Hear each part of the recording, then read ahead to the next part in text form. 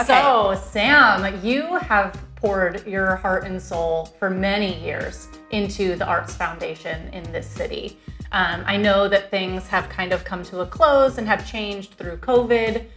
Tell us a little bit about that, and I would love to know what you can see in the future for Flagler County or what you would love to see us embrace within the arts community.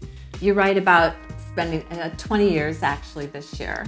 Uh, the Palm Coast Arts Foundation was founded in 2004 and founded by a bunch of people from mostly New York area and a few from South Florida that were used to having the arts at their disposal. Mm-hmm. And at that point in time, we had very little. I mean, we were always going to Daytona, Orlando, Jacksonville, St. Augustine to do anything, to see anything. Yeah. And, and as a realtor, that's tough when you put people in your car and they go, "Where do we have to go to see a show?" Yeah. So we founded we founded on the principle of bringing quality art here and um, and eventually building a site.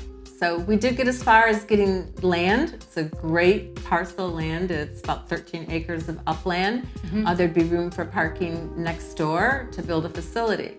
But then, right after we formed, not too long after that, we got hit with first the recession, yep. which slowed everything down when many nonprofits didn't survive. We were lucky with all of our locals and, and our support that we survived that. And we're doing really well. We have a stage there. We had a stage there. We had a tent for a while. And things were progressing uh, with the city, with the county, and with the state as far as possibly erecting something on the site, at the very least, a roof over top of that beautiful stage. Mm-hmm. And then COVID hit. And uh, uh, Palm Coast Arts Foundation, as most of the arts, really survives on their events. Yeah. And if you can't have events for three years, and even after that, people still a little reluctant to come out. Yeah. It really shut us down. So the site was owned by the city.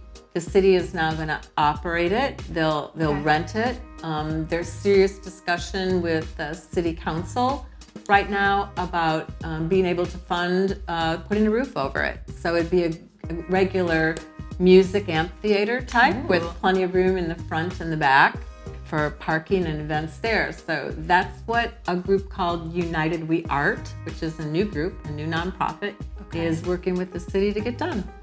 I love to hear that. So we might have lots of good stuff happening in the near future. There could be. There could be. We'll see what happens. Very cool.